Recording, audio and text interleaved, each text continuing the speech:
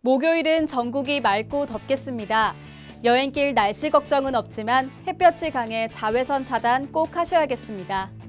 목적지인 대마도와 후쿠오카 역시 맑은 하늘이 전망됩니다. 여행길 자세한 내용 알아보겠습니다.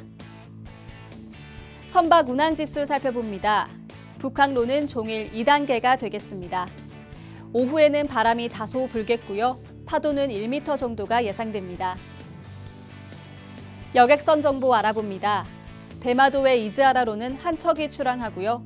히타카츠로는 세 척이 대기 중입니다. 뱃말미는 보통 수준이 되겠습니다.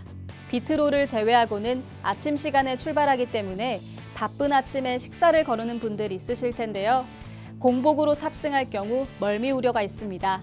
가벼운 식사를 하시고 여행 떠나시면 좋겠습니다. 대마도의 맑은 하늘 아래 입항하겠습니다. 즐거운 여행길에 날씨도 표정이 좋은데요. 낮 최고 기온은 27도가 예상되고요. 선선한 바람이 땀을 식혀주겠습니다. 후쿠오카로는 세척의 배가 준비 중입니다.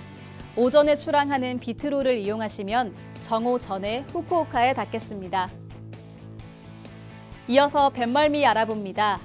오전 비트로는 나쁨이고요. 이후에 출항하는 배들은 보통 수준을 보이겠습니다.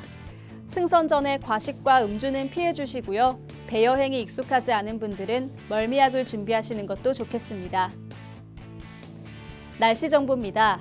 낮 최고 기온은 28도가 예상되고요. 가벼운 옷차림 하셔도 좋겠습니다. 오전에 구름이 조금 보이다가 오후에는 해가 모습을 드러내겠고요. 금요일까지 이어져 맑겠습니다. 지금까지 국제항로 해양정보였습니다.